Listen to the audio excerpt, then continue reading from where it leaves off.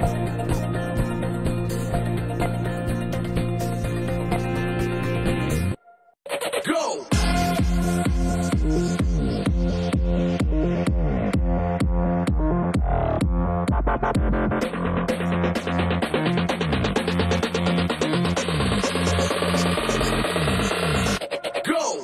¿Cómo les va? Bienvenidos como siempre, como todos los fines de semana, aquí a Motores al Día. Y como siempre, bueno, pues ya sabe que estamos transmitiendo sábados y domingos 5.45 de la tarde con toda la información automotriz.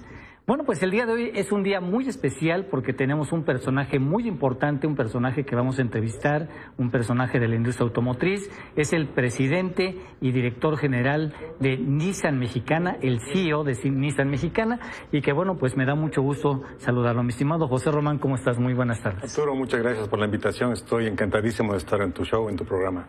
Muchísimas gracias. Gracias. Bueno, pues mi estimado José, gracias por aceptar esta entrevista. Eh, muy contentos de platicar contigo. Y bueno, Nissan acaba de cumplir 60 años en México.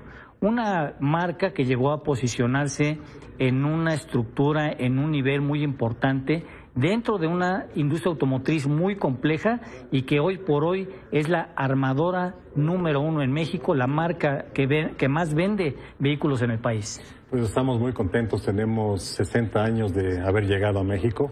Todo inició en el 61 y luego iniciamos eh, fabricación también con la famosa fábrica de Cuernavaca, tú recuerdas, Así es. Esta fue la primera eh, fábrica fuera de Japón para La famosa planta de Civac. Exactamente, entonces ya luego tenemos las fábricas de Aguascalientes, hacemos powertrain y en toda esta historia de, tantos años llevamos 14 eh, millones de unidades producidas y 15 millones de motores también. Entonces, Realmente es, una, es un orgullo para mí estar en, México eh, dirigiendo Nissan Mexicana. Claro. Y pues eh, lo más bonito de todo es que tenemos eh, coches muy bonitos para ofrecer a los clientes, ¿no? Por supuesto que sí. ¿Qué tan importante es Nissan Mexicana para, para Nissan Corporation? Pues te digo, nosotros no somos los más grandes, pero sí somos los cuartos en el mundo. El primero es Estados Unidos, el primer mercado en el mundo para Nissan, luego está China, luego está Japón y el cuarto mercado en el mundo es México. Ahora sí, eh, pero en, en, partición de mercado somos el número uno en el mundo. Entonces, somos el ejemplo de todas las cosas que se hacen bien en, los mercados.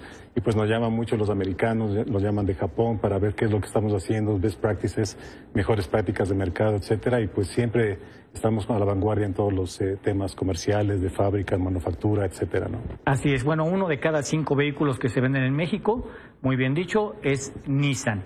Bueno, ¿qué es lo que está haciendo Nissan precisamente para que sean los autos preferidos de los mexicanos, porque muchos dicen, es que bueno, Nissan tiene la gran ventaja que produce en México y bueno, también da muchos créditos y bueno, pues es que tiene estrategias muy complejas y nosotros no podemos hacer lo mismo y Nissan vende mucho. ¿Qué es lo que hace Nissan? ¿Por qué a las personas les gusta tanto Nissan? Pues yo creo que es el resultado primero de, una estrategia de largo plazo, ¿sí?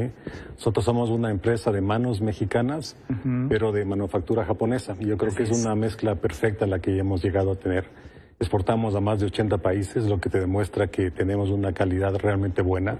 Competimos a nivel mundial con cualquier país del mundo. Nosotros competimos con, proyectos para hacer eh, vehículos aquí con Estados Unidos, con Japón, con China, con todo el mundo y siempre nos va muy bien. Somos en nuestro top eh, de los mejores. Y te diría también que eh, la red de distribución, de distribución que tenemos es muy buena. Creo que es de las mejores que tenemos en el mundo.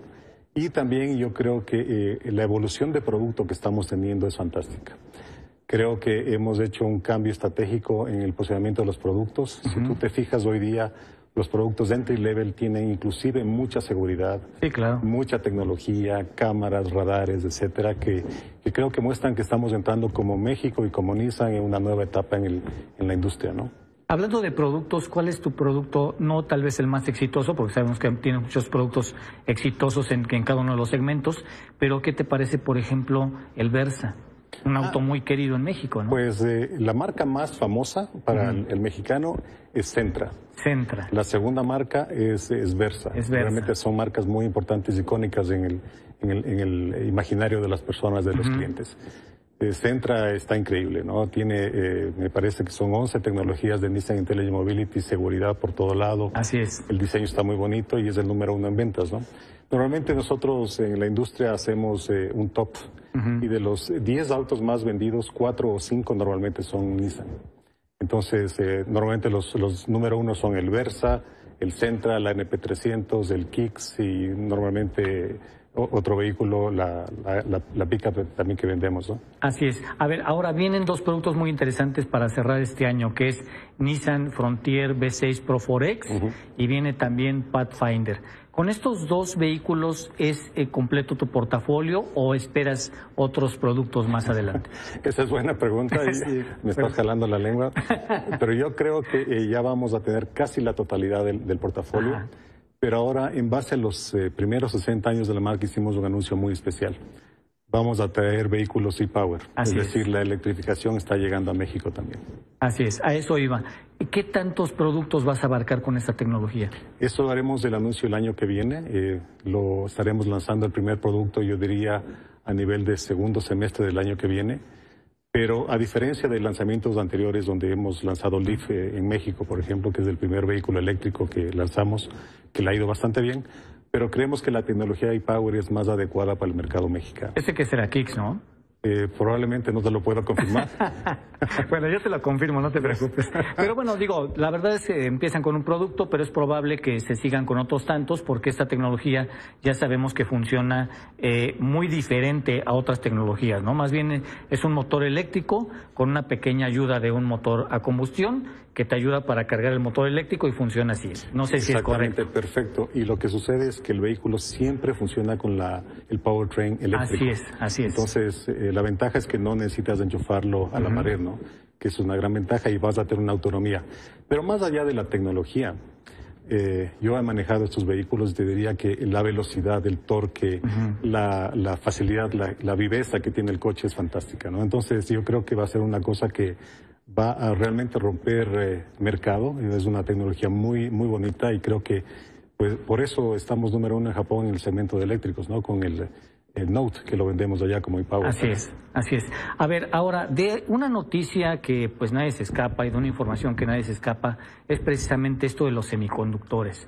Este problema, que es un problema a nivel mundial, que no se exime a ninguna marca, ninguna armadora, ¿qué es lo que está sucediendo con Nissan? ¿Cómo, cómo les está yendo? Porque sabemos que en unos en mayor medida, en otros en, menor medida, pero todas las marcas han sido afectadas. Pues ha sido, yo creo que una de las consecuencias de la pandemia. Eh, al inicio, yo te diría que hace unos seis meses ya vimos que hubo un impacto en, los proveedores de semiconductores, pero era por capacidad porque no había suficientes chips eh, para teléfonos, computadores, coches, todo este tema que estamos viviendo en este momento. Porque todo el comercio se fue para, para el tema electrónico. Pero ahora lo que sucede es que ya, eh, ya se solucionó este tipo de temas, ya hay capacidad.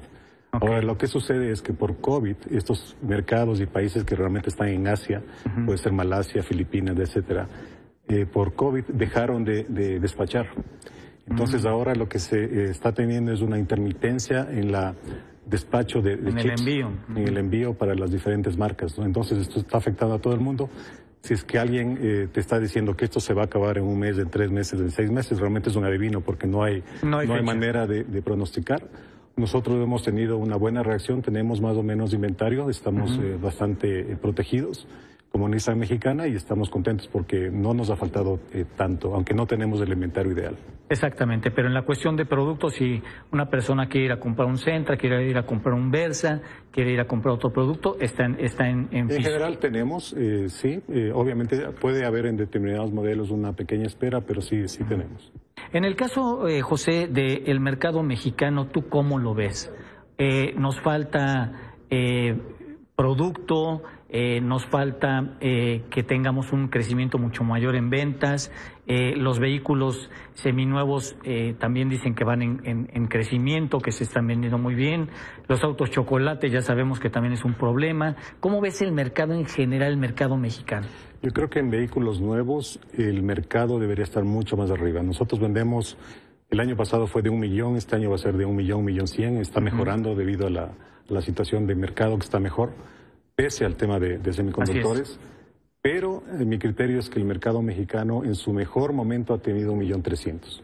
Mi criterio es que este mercado debería estar en mínimo en dos millones de unidades. Mínimo en dos millones de unidades. millones de unidades. ¿Crees que existe la capacidad del mexicano para dos millones? Total, total. Sí se puede. Yo creo que la capacidad instalada que tenemos como manufactura mexicana, no solamente de Nissan, sino de todas las marcas, es muy grande. Y creo que eh, pues nosotros estamos listos para proveer eh, producto para todos los clientes.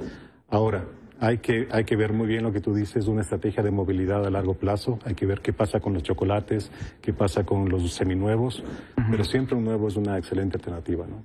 Perfecto.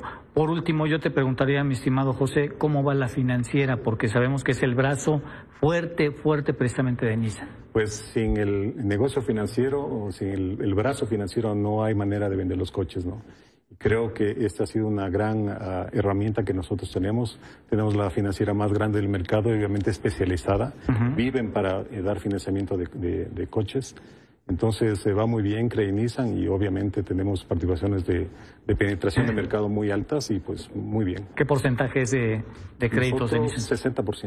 60%. 60%. el porcentaje de aprobación es 60%. 60, pero de la, de la, de la financiera propia, ¿no? De nuestra financiera Independientemente de otras financieras como bancos, etcétera, etcétera. Sí, pero normalmente se trabaja con la financiera, es la, nuestra, porque tiene unos eh, planes muy, muy agresivos y muy atractivos. Exactamente. Sí, sí bueno, lo, conocemos.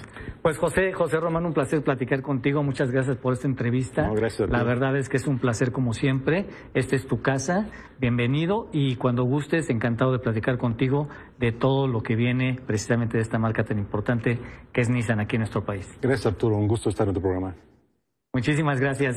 Bueno, pues muchísimas gracias. Ya lo escucharon, José Román, presidente y director general de Nissan Mexicana. Esto fue todo por hoy aquí en Motores al Día. Nos vemos. Hasta la próxima.